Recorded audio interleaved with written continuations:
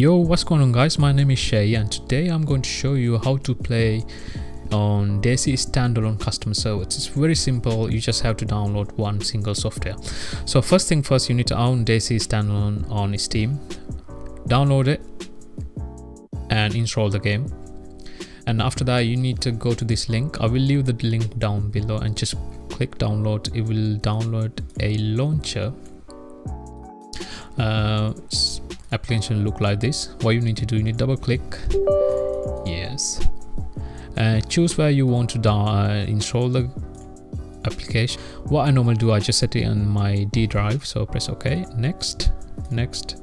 You can create a shortcut if you like but I'm gonna press next install and finish. Now you don't really need this. I'm gonna delete this. What next thing what you need to do you need to click start and DZSA and it's called DayZ standalone launcher and it should start.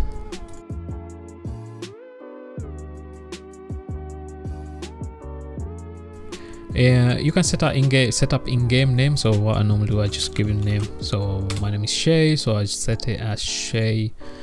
Okay now first thing first. As you can see you can see all the servers available. First thing first you need to go settings.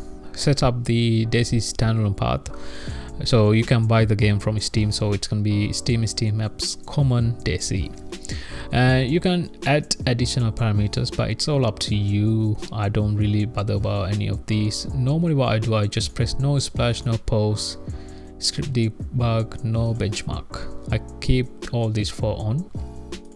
Now next thing if you go to modes there's ton of mode that you can download. But what i would recommend downloading one by one like in here find yourself a good server.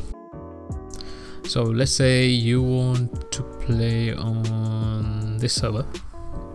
No actually the, on this server. So there's a underneath you can see next to the IPA uh, there are some modes that you need to play on this server. The thing is I already got all these modes but on your page you should see a download icon down here so what you need to do you need to click on that download link. Uh, not download it's like a download logo. So you, what you need to do you need to click on down download logo and it will start all the modes you need to join that server. And after that when it's finished what you can do it will uh, download logo will change to a play button. When that happens that means you are ready to go and join the server. So you just pretty much just click play and it will put you in the game it will pretty much put, you in the server. So is there any problem just let me know. I will try to help you guys out. And again thanks for watching guys. I will see you in next video